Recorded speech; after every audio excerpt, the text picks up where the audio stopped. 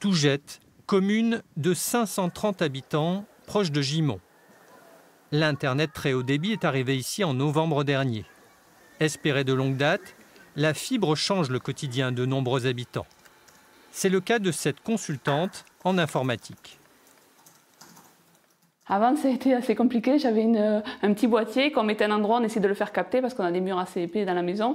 Et euh, voilà, c'était très compliqué pour nous d'avoir l'information, d'accéder. Puis dès que deux, ordinateurs étaient connectés, à ce moment-là, il n'y avait plus assez de bandes passantes.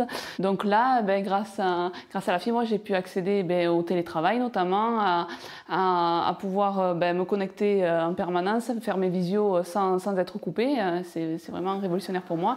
Déployer le haut débit dans un département comme le Gers constitue un défi car les habitations sont dispersées. Pas rentable pour les opérateurs comme Orange ou SFR. Alors pour rattraper le retard, le département et les communautés de communes créent Gers Numérique en 2013. Budget 100 millions d'euros.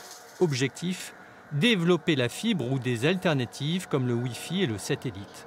C'est un chantier qui est une priorité absolue pour le département, qu'on a lancé dès 2016, ce qui permet aujourd'hui au réseau d'avoir déjà atteint un certain niveau de couverture, puisqu'on est quasiment à un Gersois sur deux déjà éligible à la fibre optique, ce qui permet au Gers, alors qu'il avait le plus mauvais débit de France il y a quelques années encore, d'avoir aujourd'hui le premier réseau public en fibre optique de toute Occitanie. La fracture numérique devrait être comblée fin 2024, une date annoncée pour la couverture totale du département en fibre.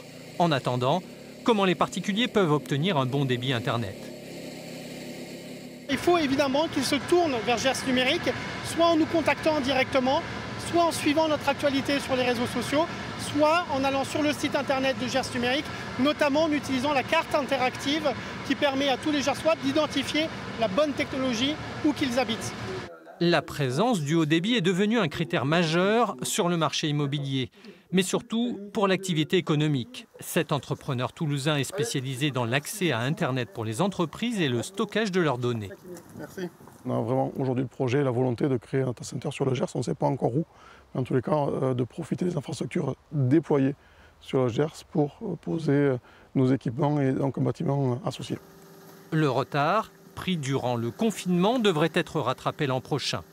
La couverture progressive de l'Internet très haut débit ne doit pas cacher un autre réseau en pointillé, celui de la téléphonie mobile, insuffisante actuellement dans le Gers.